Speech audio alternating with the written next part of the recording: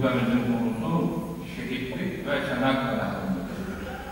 Tabii Mart ayı geldiği zaman Türk milletinde 18 Mart canlanır. Çünkü kısaca anlatmak gerekiyor. 18 Mart'ta Cenab-ı Hak bu Türk milletine çok büyük mucizeler vermiş. Şimdi biz Seyit Onbaşı'da bu Yahya Çavuşları anlatıyor. Cenab-ı Hak onların nezdinde Türk milletine yardım etmiştir. Cenab-ı Hak bu Türk milletini, bu İslam'a hizmet eden milleti seviyor Cenab-ı Hak. İşte bu Çanakkale'de de bizzat Cenab-ı Hak etmiş. Yoksa Seyit Onbaşı'nın, Yahya Çavuş'un özelliği değil bu. Bunu Almanya'da Diyanet Başkanımız, Başkan Yardımcımız anlatmıştı. Seyit Onbaşı.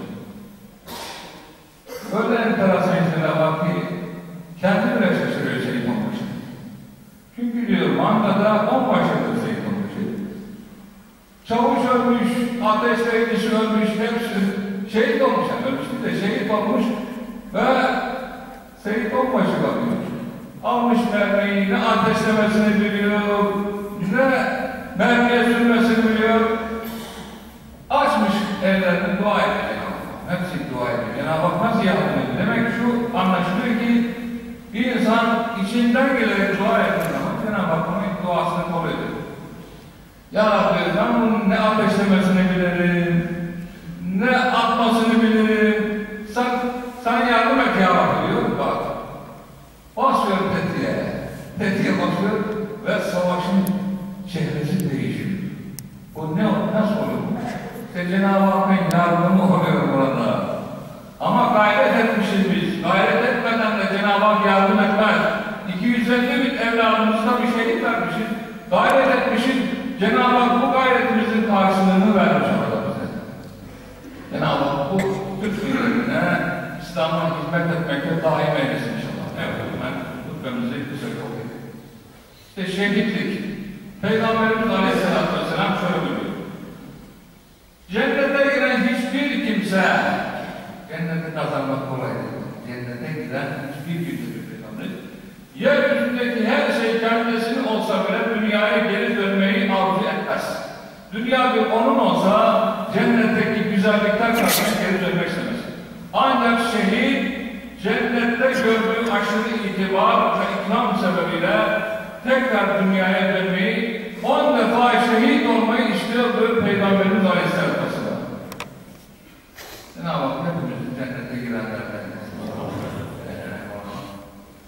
Bu nebevi müjde, şehidin Allah katındaki değerine ve nail olduğu nimetler işaretler ne güzel müjdedir. Yüce din İslam dini vatan ve mukaddesat uğrunda can vermeyi şehadet müjdesi içinde değerlendirmiş ve büyük bir şeref kabul etmiştir.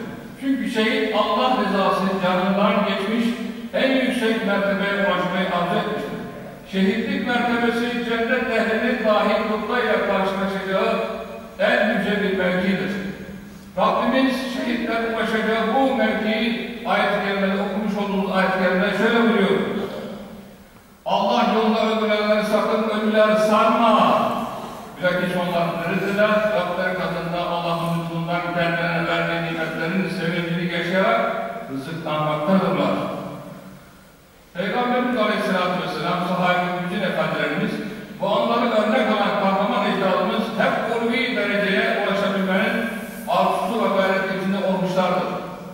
Şanlı ordularımızı cepheden cepheye koşturan, nice toprakları bize vatan yapan, tarih kapatıp tarih açtıran işte bu inançtır, bu inancın verdiği ruhtur.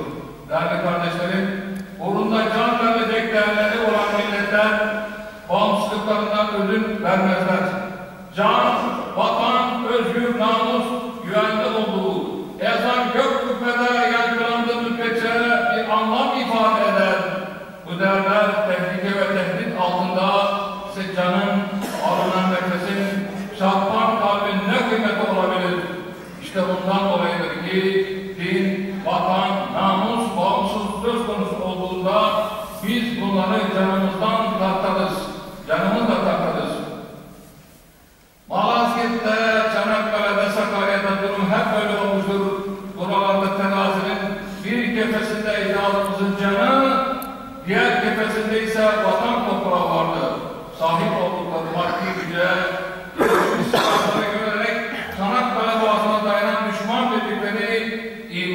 göğüsler tarafından hezimete uğratıldı. Şüphesiz başarının en önemli sırlarından biri şehadet arzusuydu. Şehadet arzusu, Çanakkale'de zafer, Akif'in dilinde destan, Seyit Onbaşı'da muazzam bir oldu. Şehadet arzusu, renk, ırk, dil farkı, farkını yok edip, ülkenin dört bir yanından gelen yiğitleri bir mevzide buluşturdu.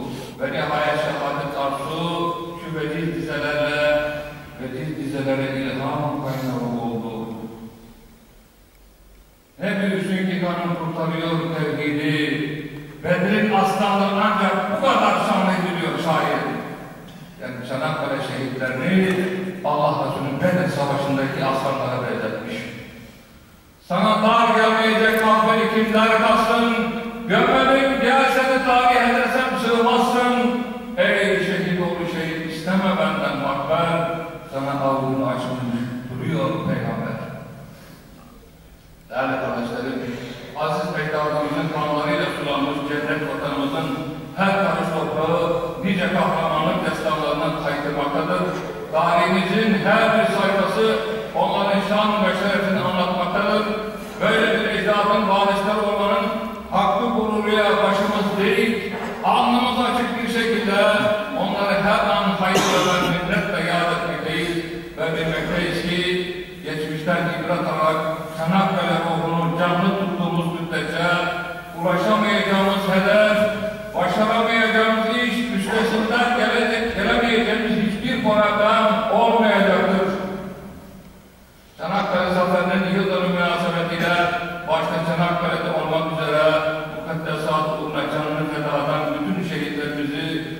rahmet ve minnetle anıyoruz.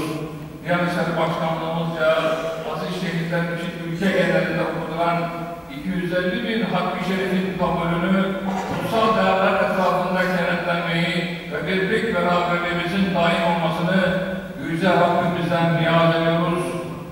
250 bin hatim kampanyasının duası 18 Mart 2013 Pazartesi akşam namazından sonra Haydar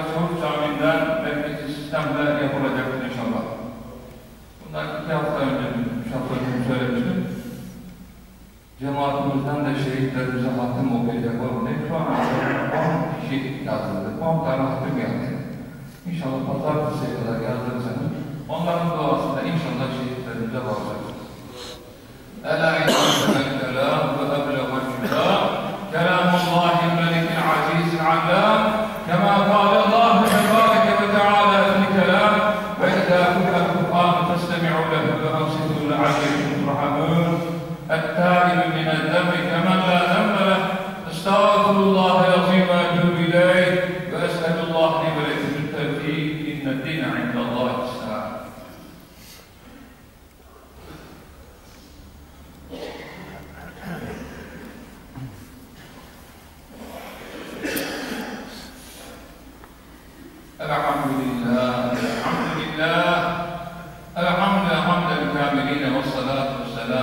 رسولنا محمد وعلى آله وصحبه أجمعين. تعظيما لنبيه الكريم الفخام بشان شرف الصفي فقال عز وجل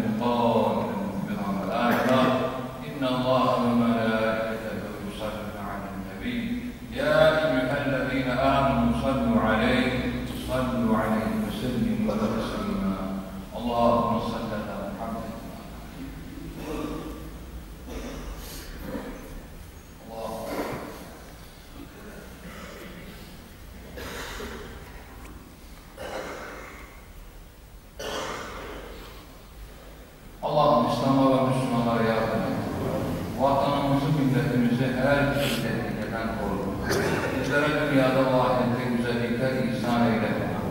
Bizi, anamızı, babamızı, bütün müminler bağışla.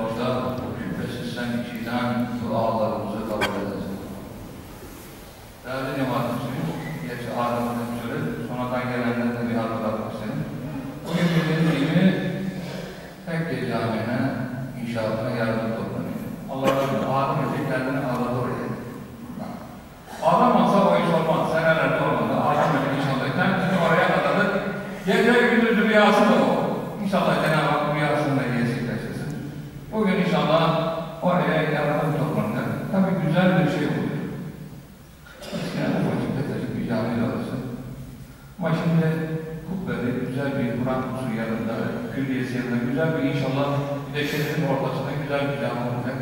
İnşallah Cenab-ı Hak o camiden ibadet etmeyi, o Kur'an kursunda evlatlarımızın Allah kelamını öğrenmeyi cümlemize nasip etsin. İnna Allah